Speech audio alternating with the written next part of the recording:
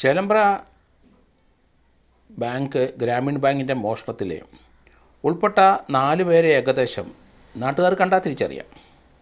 ഏതായാലും അതിനകത്ത് പെട്ടെന്ന് ഐഡന്റിഫൈ ചെയ്യുന്ന കഷണ്ടിയുള്ള ആ ജോസഫിനെ അവർ അതിന്റെ രേഖാചിത്രം പോലീസ് തയ്യാറാക്കി. കൃത്യമായ ഒരു രേഖാചിത്രമായിരുന്നു അത്. ഐഡന്റിഫൈഡ് ആയിട്ടുള്ള. കാരണം പലരും ഇവരെ കണ്ടിരിക്കുന്നു. അതുകൊണ്ട് അത് ഡ്രോ ചെയ്യാനായിട്ട് വരച്ചെടുക്കാൻ ആ കലാകാരന് നന്നായിട്ട് പറ്റി. ഏതായാലും ജോസഫിന്റെ ആ മുഖം കൃത്യമായി രേഖാചിത്രത്തിൽ വന്നു. ഈ സമയത്ത് അവർക്ക് സംശയമുള്ള ഒരു മൊബൈൽ ഫോൺ നമ്പറിലൂടെ കണ്ടെത്താൻ പോലീസിന് സംശയിച്ചു. പോലീസിന് സാധിച്ചു. അതോടുകൂടി ഏകദേശം പ്രതിയെപ്പറ്റിയുള്ള ചില വിവരങ്ങൾ പോലീസിന് കിട്ടി. ഏതായാലും ഏഴെട്ട് മാസത്തിനുള്ളിൽ പോലീസ് എനിക്ക് തോന്നുന്നത് തൊണ്ണൂറ്റി മൂന്ന് ദിവസത്തിനുള്ളിൽ അതിന്റെ ക്ലൂ കിട്ടിയിട്ടുണ്ട്. ഏകദേശം അൻപത്തി എട്ടോളം കിലോ സ്വർണം. ഏഴ് ഏഴര കോടി രൂപയുടെ സ്വർണം വരും. അൻപത്തെട്ട് കോടി അൻപത്തിയെട്ട് കിലോ സ്വർണമാണ് പോയത്. ഏതായാലും ആളെ ഈ കൾപ്രിറ്റിനെ പോലീസ് തെളിച്ച് ട്രേസ് ചെയ്തു. ജോസഫിനെ പ്രീവിയസ് ഹിസ്റ്ററി മനസ്സിലായി. ജോസഫിന് പല മോഷണ കേസിലും പ്രതിയായിരുന്നെന്നും ജോസഫിന്റെ കൂടെ ജയിലിൽ കിടന്നത് ഷിബു ആണെന്നും മനസ്സിലാക്കി. അപ്പോൾ ആ ഐഡന്റിഫിക്കേഷൻ വെച്ച് എസ് കൺവിറ്റായ ജോസഫും അയാളുടെ സുഹൃത്ത് ഷിബുവും അവർ രണ്ടുപേരും എക്സ് എസ് കൺവിറ്റാണ് രാധാകൃഷ്ണൻ ഏതായാലും കൊയിലാണ്ടിയിലുള്ള ആളാണ് എന്ന് ഇവരെ അറസ്റ്റ് ചെയ്ത ശേഷമാണ് പിടികിട്ടുന്നത്. എന്തായാലും ഇവരെ പോലീസ് അറസ്റ്റ് ചെയ്തു. അറസ്റ്റ് ചെയ്ത് ചോദ്യം ചെയ്തു. അൻപത്തെട്ട് കിലോ സ്വർണം. ഏതായാലും ജോസഫിന് പതിനെട്ട് കിലോ സ്വർണം. ഷിബുവിന് പതിനെട്ട് കിലോ സ്വർണം. അതുപോലെ രാധാകൃഷ്ണനും പതിനെട്ട് കിലോ സ്വർണം. രാധാകൃഷ്ണന്റെ ഭാര്യ അവരുടെ കയ്യിൽ നിന്ന് ഒന്ന് ദശാംശം ഒമ്പത് മൂന്ന് കിലോ സ്വർണം. കനകേശ്വരിയുടെ നിന്ന് രണ്ട് കിലോയ്ക്ക് അടുത്ത സ്വർണം. ഏതായാലും ഇത്ര സ്വർണം പോലീസ് റെക്കോർഡ് ചെയ്തു. മറ്റൊരു രണ്ട് കിലോയോളം സ്വർണം കണ്ടെടുക്കാൻ പറ്റിയില്ല. പക്ഷേ ഇതുമായിട്ട് ബന്ധപ്പെട്ട് ഹൈദരാബാദ് പോലീസ് ചേലമ്പ്ര ബാങ്കിനെയും അതുപോലെ തന്നെ അവിടുത്തെ പോലീസുമായിട്ട് ബന്ധപ്പെട്ടു. അവിടെ ഹൈദരാബാദിലൊരു ഹോട്ടലിൽ നമ്പള്ളി പോലീസ് സ്റ്റേഷൻ അതിർത്തിയിലാണ്. അവിടെ ഒരു ഹോട്ടലിലെ മുറിയിൽ ഒരു ചേലമ്പ്ര ബാങ്കിലെ ഒരു കീ. അവിടുത്തെ ബാങ്കിന്റെ പണയം വെച്ചതിന്റെ ഒരു രസീത്. ഹൈദരാബാദ് കിട്ടി. അത് പ്രസാദ് എന്ന് പറഞ്ഞ ഒരാളാണ് അവിടെ ഹോട്ടലിലെ പേരെഴുതി വെച്ചിരിക്കുന്നത്. ഡെക്കാൻ റെസിഡൻസി ഹോട്ടലാണത്. അവിടെ ഒരാൾ രണ്ടുപേരും ഒന്ന് താമസിച്ചിരിക്കുന്നു. അവിടെ മൂവായിരം രൂപ അഡ്വാൻസ് കൊടുത്തിട്ടുണ്ട്. വെരി കോസ്റ്റ്ലി ആയിട്ടുള്ള ഹോട്ടലാണ്. ഏതായാലും മൂവായിരം രൂപ അഡ്വാൻസ് കൊടുത്തിരിക്കുന്നു. ഇവർ രണ്ടുപേരും അവിടെ താമസിച്ചു. ഉച്ച കഴിഞ്ഞ് അവർ വെളിയിൽ പോയി.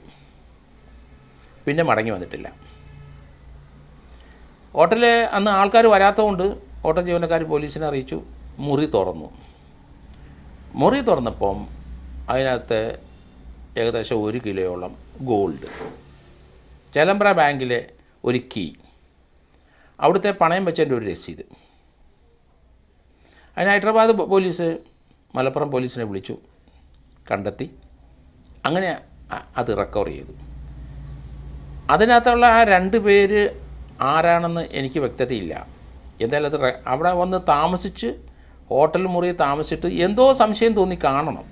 കാരണം പോലീസിന്റെ സാന്നിധ്യമോ. പക്ഷെ അവരെ രണ്ടുപേരെ കണ്ട പോലീസ് അവിടുത്തെ പോലീസ് പറഞ്ഞു ആ ഹോട്ടൽ ജീവനക്കാരോട് രണ്ടുപേരും കണ്ട ഒരു പോലീസ് ഓഫീസേഴ്സിനെ പോലെ തോന്നുന്ന നല്ല ആരോഗ്യമുള്ള ആൾക്കാരാണ്. എങ്കിലും എന്തോ ഒരു സംശയം തെറ്റിയിട്ട് അവർ ഹോട്ടലിൽ മടങ്ങി വന്നില്ല. ആ വഴി പോയി. അപ്പോൾ അത് ഈ ചേലമ്പ്ര ബാങ്കിലെ ആണെന്ന് തിരിച്ചറിഞ്ഞുകൊണ്ട് ഹൈദരാബാദ് നമ്പള്ളി പോലീസ് അവിടുത്തെ ഹൈദരാബാദ് പോലീസ് ഐ ജി അറിയിച്ചിട്ട് കേരളത്തിലോട്ട് വിവരം അറിയിച്ചു. ആ സാധനം കൂടെ ഈ കേസിലേക്ക് റിക്കവർ ചെയ്യാൻ സാധിച്ചു.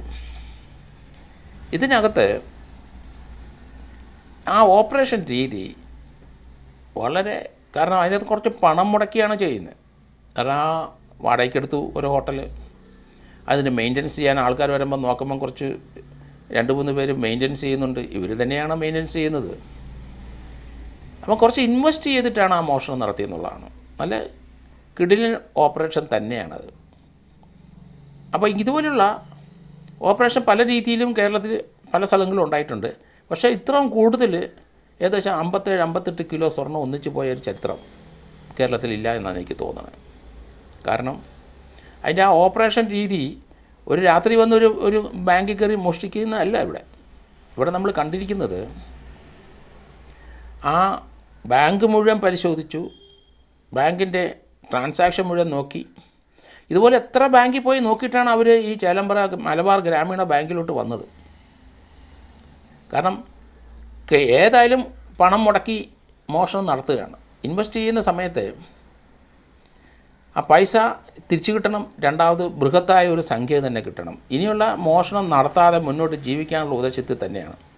അവർ കൃത്യമായിട്ട് ഷെയർ ചെയ്തിരിക്കുന്നു അതിന്റെ അകത്ത് അതായത് ജോസഫും ഷിബുവും അതുപോലെ തന്നെ രാധാകൃഷ്ണനും മൂന്ന് പേർക്കും കൊടുത്തു. മൂന്ന് പേർക്ക് ഈക്വലായിട്ട് അവർ ഗോൾഡ് കൊടുക്കുകയും പതിനെട്ട് കിലോ ചില്ലുവാനും കൊടുക്കും അതുപോലെ തന്നെ ആ രാധാകൃഷ്ണന്റെ ഭാര്യ കനകേശ്വരി അവർക്ക് ഏകദേശം രണ്ട് കിലോയുടെ അടുത്ത് സ്വർണം കൊടുത്തു.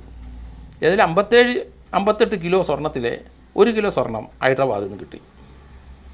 എന്തായാലും വീതം വെച്ചതിന്റെ മുഴുവൻ പോലീസിന് റെക്കോർഡ് ചെയ്യാൻ പറ്റിയില്ലെങ്കിലും അവർ ഷെയറിങ് കൃത്യമായിട്ട് പതിനെട്ട് പോയിന്റ് സംതിങ് ആണ് ഓരോരുത്തരും വീതിച്ചെടുത്തിരുന്നത് അപ്പോൾ അതിനൊന്നും തർക്കമില്ല. കള്ളന്മാർ കൃത്യമായി അവരവരുടെ ഷെയർ വീതിച്ചെടുക്കുകയും കൊണ്ടുപോവുകയും ചെയ്തിരിക്കുന്നുള്ളതാണ് കനകേശ്വരിയും രാധാകൃഷ്ണനും കുമരകത്തെ റിസോർട്ടിൽ വെച്ചാണ് പരിചയപ്പെടുന്നത്. കാരണം അവരുടെ ആഡംബര ജീവിതം ആ ഭാര്യ ഭർത്താക്കന്മാരുടെ ആഡംബര ജീവിതം എങ്ങനെയാണെന്ന് കണ്ടോ? അതിലേക്ക് പണം വേണം. പണം ഇത് നമ്മൾ ഒരു പല കേരള സമൂഹത്തിലെ പല ആൾക്കാരും പണമില്ലാതെ വരുമ്പം ഇങ്ങനെയുള്ള പല പ്രവൃത്തികളിൽ ചെന്ന് ചാടുന്നതായിട്ട് അടുത്ത കാലത്ത് വളരെയധികം കേസുകൾ റിപ്പോർട്ട് ചെയ്യുന്നുണ്ട്. എളുപ്പമാർഗത്തിൽ പണം ഉണ്ടാക്കാൻ വേണ്ടി എന്ത് എന്ത് ക്രൂരകൃത്യവും ചെയ്യും. അതുകൊണ്ട് ആൾക്കാർ ലാവിഷായിട്ട് ലക്ഷറിയസ് ആയിട്ട് നടക്കുന്ന കാണുമ്പം അതിനുള്ള വരുമാനം ഇല്ലെന്നുണ്ടെങ്കിൽ അങ്ങനെയുള്ള വിവരം പോലീസിനെ രഹസ്യമായിട്ടെങ്കിലും അറിയിക്കണമെന്ന് ഞാൻ പറയുന്നത്. കാരണം അത് എവിടെ നിന്നെങ്കിലും തട്ടിച്ചോ വെട്ടിച്ചോ ഉണ്ടാക്കുന്നത് തന്നെ. അതിന് യാതൊരു മാറ്റവും ഈ ചേലമ്പ്ര ബാങ്കിന്റെ അന്വേഷണത്തിൽ പോലീസിന്റെ അവരുടെ ആ എഫിഷ്യൻസി നന്നായിട്ട് നമുക്ക് മനസ്സിലായിട്ടുണ്ട്. കാരണം അന്നിരുന്ന ആ പോലീസ് ഉദ്യോഗസ്ഥ അന്വേഷണ ടീമിലുള്ളവരെല്ലാവരും അതിനകത്ത് എല്ലാ റെക്കഗ്നേഷൻ അല്ലെങ്കിൽ അവർക്ക് തീർച്ചയായിട്ടും നമുക്ക് അഭിനന്ദിക്കുന്ന പ്രവൃത്തി ചെയ്തു വന്നവരാണ് അവരെല്ലാം. കാരണം ആ രേഖാചിത്രം കൊണ്ട് തന്നെയാണ് ഒന്ന്. കാരണം അയാളുടെ ആ കഷണ്ടി തല ഉള്ളതുകൊണ്ടാണെന്ന് ഞാൻ പറയുന്നത് ആ രേഖാചിത്രത്തിൽ അത് കൃത്യമായിട്ട് വന്നപ്പം പലർക്കും അത് മനസ്സിലാകും. ഇപ്പം നമുക്കറിയാമല്ലോ ഇപ്പോഴത്തെ ആ നടിയെ ഉപദ്രവിച്ചവരുടെ ആ ഒരു മാസ്ക് വെച്ച ആ- അവരുടെ മുഖം കണ്ടപ്പം തന്നെ അത് പലർക്കും ആ അയാളുടെ വീടിന്റെ അടുത്തുള്ളവർക്ക് തന്നെ അത്രയും മതി. ഒരു ശരീര മുഖത്തിന്റെ പകുതി ഭാവമെങ്കിലും കിട്ടിയാൽ ആളെ ഐഡന്റിഫൈ ചെയ്യും. ഏതായാലും രേഖാചിത്രം കൃത്യമായി ജോസഫ് എന്ന പ്രതിയുടെ അയാളാണ് ഏറ്റവും പാലക്കാരനാണ് ഏറ്റവും ടാലന്റഡ് ആയിട്ടുള്ള കള്ളൻ.